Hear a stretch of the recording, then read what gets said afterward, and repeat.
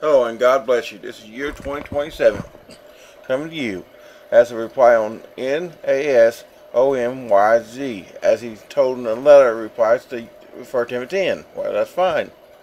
God bless your heart. Okay, in this comment, he's saying, so you're saying anything is possible as long as you believe that you can do it and you can set yourself out to do it. Yes, if you can build in your heart that you can do it, almost anything is possible. There might be things that are impossible, but from what I can see, almost anything is possible.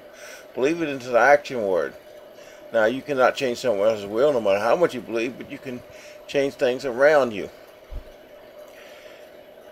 What what you had said is very true. I believe in the teaching of Jesus, but the words of the Bible in Matthew 17 are a great, powerful verse. Yes, I like them.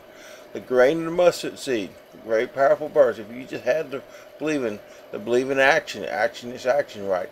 If you want to move a mountain, you take a bulldozer and start pushing little by little. Takes believe in action.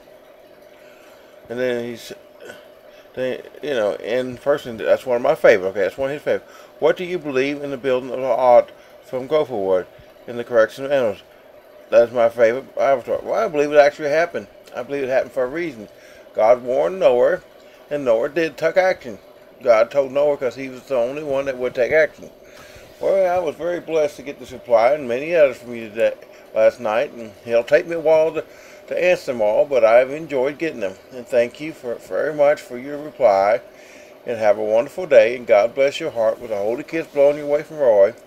I'm really We'll take time to answer more every, each and every one of them, little by little, as I find time. Thank you, and God bless your heart.